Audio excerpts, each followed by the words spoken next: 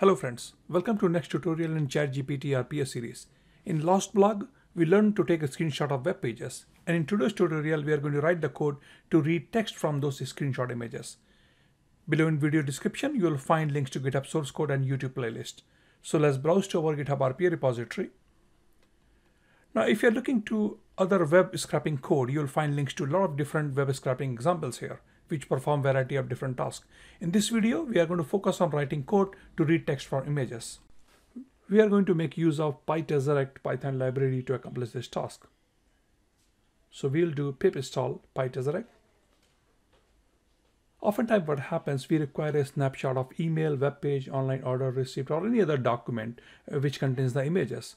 So a typical use case is, for example, you receive a vendor paper invoice and you want to really see what's included in that voucher invoice. So in this kind of scenarios, what do you want to do? You want to read the text from the images.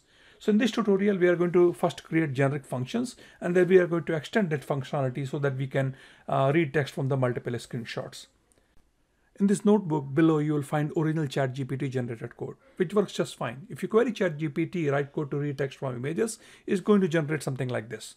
But we are going to write each line so that we can customize this code for our purpose. So let's start with a new notebook here.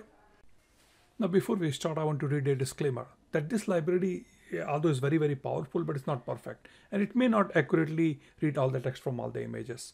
But having said that, it still is a very powerful tool. So let's start with doing the installation, pip install Tesseract. Again, I already have this installed, so I'm not going to do it over again. Second thing, I'm going to install another module, say Pillow.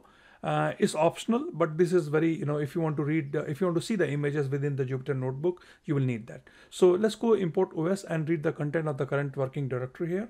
So os.list directory downloads. Let me run this. As you will see, I have couple of images and these are the images I generated in my last tutorial.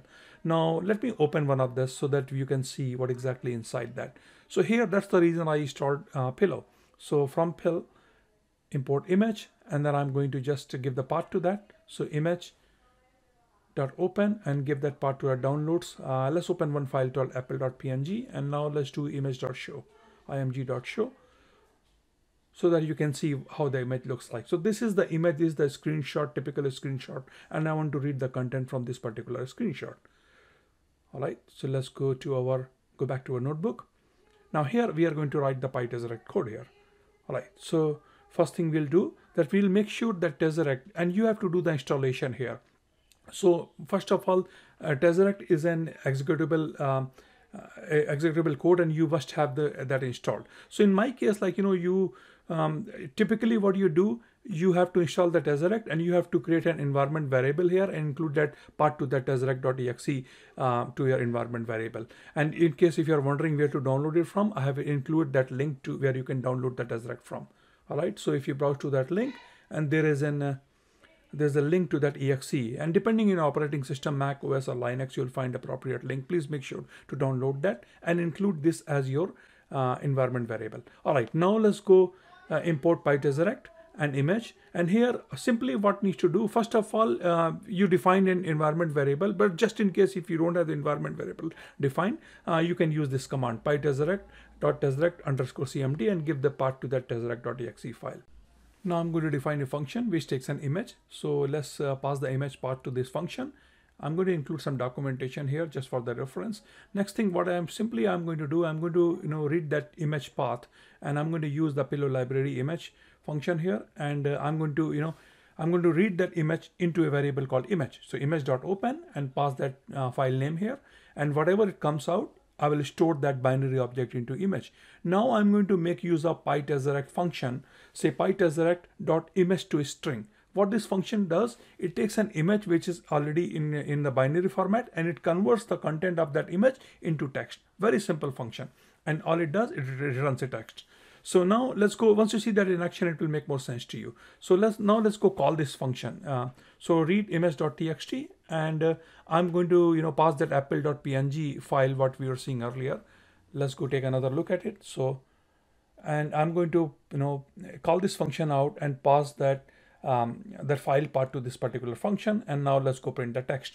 So let's run this again. So hopefully, as you can see, this uh, kind of like, you know, I, and I kind of verified it's like 99% of um, generated text is, is, is almost the same as what was, what was shown in the image. So for example, previous close price, previous high open price, and uh, current price, and I verified out most of the amounts here. Let me show it one more time here. And those amounts, so for example, take a look, the current price is $159, open price, open price, previous close price. Most of the amount directly matches with what, um, what is included in the screenshot. So this does a fairly pretty decent job. So um, I think, you know, I'll be making use of this library more and more. Uh, now let's go do one thing. I'm going to, you know, because I want to read the content of all other files. So there are four other PNG files included in this directory, Google, Microsoft, Oracle, Tesla. Now let's go create a loop very simply because we want to extend this functionality. Uh, typically what you will do, what you want to do, you want to read multiple files and you want to read the text and you know push those inside a, a database. So let's go create a dictionary here, dictionary of images. And it, all it does, it has like, you know, keys, values and keys are the stock and the values are the, the image files what you have just uh, created in your last block. So then all we need to do is simply do a for loop and which is going to read the content of this dictionary key dot value in item images dot items and we are going to call this function what we just created one at a time. So that's how you loop it over and you can read multiple screenshot content. So finally, you know, in an RPA, typical RPA environment, what you want to do, you want to take this content and push it into a database. Um, so that's how, you know, that's one typical automation task you can perform using this simple code. So I hope this uh, you find this code very useful. If you have any questions, any concern, please open a defect or um, in an issue log at the GitHub repository, and I'll be happy to help you out.